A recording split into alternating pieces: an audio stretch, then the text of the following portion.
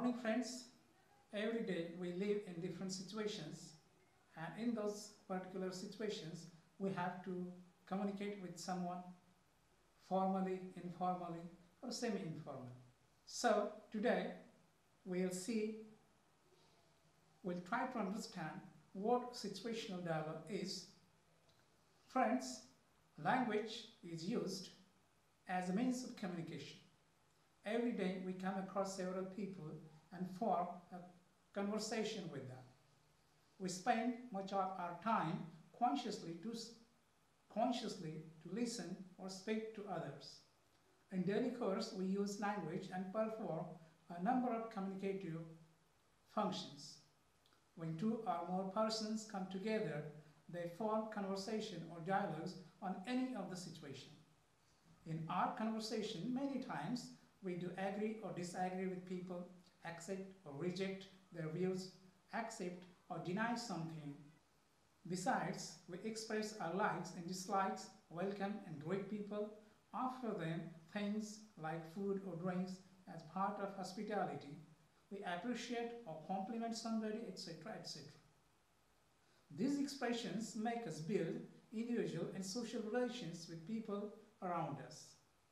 Conversation or situational dialogues specifically requires content or topic or the context to speak about. There can be following purposes for dialogue such as number one, a simple greeting for social purposes.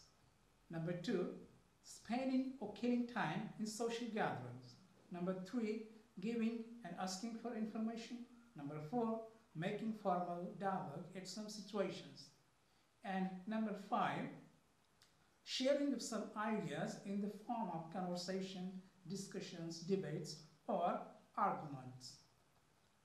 In making a successful conversation, there needs to be correct use of language and proper expressions. It requires vocabulary, expressions, language, and most importantly, body language to communicate effective messages. Friends, in our daily life, we converse with various people from different fields. Sometimes we meet people in gardens, at restaurant, at the bus stop, in hospitals, in parties, in social gatherings, at railway station, at shopping malls, etc., etc. And we carry out dialogues in various forms with certain people. This conversation or dialogue are formed in three different types. That is formal, semi-formal and informal. Now let us concentrate on formal situations. What are formal situations in which we converse with different people and the way we converse? It is a conversation which is formed between strangers and to exchange only essential and unavoidable matters the speaker and the listener just share a formal type of dialogue where personal and private matters are not included as two are unfamiliar to each other. Here, the speaker and the listener maintain polite dialogue as they show respect through their language and behavior. Such conversations normally take place in offices and with the superiors or juniors as there is no scope for any emotional or personal talk about the families or friends. Friends, let us see semi-formal situations. In this conversation type, limited extent can be a part of dialogue including greeting, inquiries, discussions, etc. In such situations, the acquaintance with the person is limited as they have not made or come across once or twice before in a party, on a train, in a bus, or some particular functions. The dialogues between the two persons are not found intimate or close and even they do not have easy and free sharing of views and ideas. The dialogues are formed just to show little courtesy and not the greater intimacy of sharing and discussing personal problems or matters. In these situations, there are no elaborating gestures and free expressions but has reserved emotions and less intimate actions. Friends, now let us turn to the informal situations. In this conversational dialogue, much intimacy is seen expressed through dialogue with friends, family members, close relatives, colleagues, neighbors, etc. The dialogue shows the intimate and close relationship between the speakers. Here, the dialogue is fully expressed without keeping anything reserved. It has openness, intimacy, personal involvement, and has no requirement of any formal behavior, politeness, respect, and courtesy as is seen among formal conversations.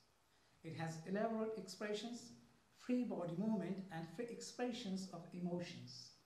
These dialects are mostly shared with natural expression, free treatment, and also in a very frank way.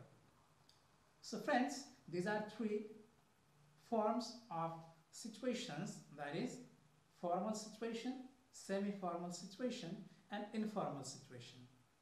Now let me add here that every day we came across different people at school, at college, at market, at shopping, at medical, at banks, at everywhere. Even sometimes we call to customer cares and we come in contact with that customer representative. So everywhere we have to speak to them in order to get our business fulfilled. Friends, as an example, we see two dialogues, one formal and another informal as follows. A student meets her teacher in a shopping mall. Good morning, sir. Good morning, Mahi. How do you do? I'm fine. What are you going to buy? I heard that there are some good qualities notepads and folders here. Oh, I saw some over there. They must be the ones you're looking for. I will take a look at them. Well, I have finished my shopping. See you then. See you, sir. A girl consoles her friend for being cheated by online shopping. You're looking so gloomy. What's the matter with you? Oh, I lost my rupees 7000 in a purchase on the internet.